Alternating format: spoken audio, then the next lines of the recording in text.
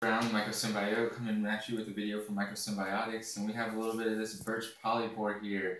Uh, this mushroom grows in deciduous forests on birch trees. It doesn't have really a preference on what type of birch it will grow on. It grows on all types of birch, and this mushroom will go a little bit further south than you'll find the chaga. The birch just unleashes loads of medicinal uh, properties out to the world in the form of fungus and the uh, bark and the syrup. Um, but we're focusing on the birch polypore today. Uh, this mushroom is a polypore mushroom. It has a bunch of pores on the bottom. Um, it has a sweet aroma, and this is attributed to the terpenes and triterpenes, which also contain some of the medicinal properties. Um, one of the terpenes, uh, acid, actually is an anti-inflammatory, which uh, provides this mushroom with some of its anti-inflammatory properties. Um, this mushroom actually will concentrate the betulin and betulinic acid that's found in the bark of the birch tree, which is in, uh, has anti-tumor properties, is very good for uh, people with melanoma. Um, and this mushroom also contains uh, compounds such as uh, piptamine, uh, which is a powerful antibiotic. So this mushroom is just a full spectrum medicinal mushroom.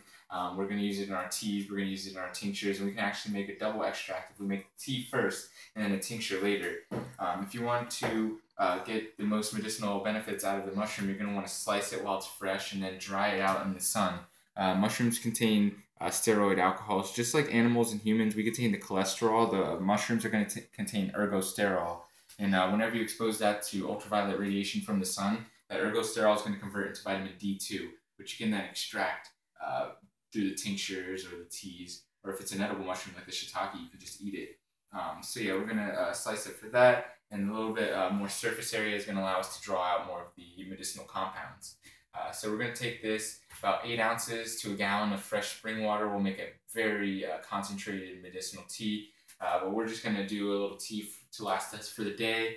Uh, we're going to uh, cycle in about a half gallon of water. we're just going to make small, small batches. We put a, about an ounce and a half in our tea. If you want to come look at it over here, you're going to want to just simmer it on low. You don't. You're not going to want to get it too high to break down some of the medicinal components, but you're going to want to simmer it on low till it gets a little bit dark.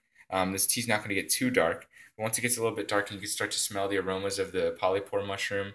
Uh, then you're going to want to just take your tea. Uh, you can lightly sweeten it with a little bit of honey. Uh, add a little bit of lemon if you're interested, and it'll uh, help to uh, absorb those medicinal compounds into your body with that vitamin C.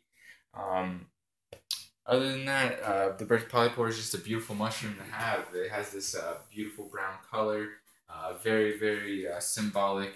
Um, I feel as though it provides some sort of protection uh, etherically to our home. Um, so yeah, if you like this video, hit the thumbs up. Uh, share on Facebook and Twitter and all your favorite mushroom blogs, permaculture blogs. Um, other than that, it's been another Mycosymbiote video. Propagate and mycelium.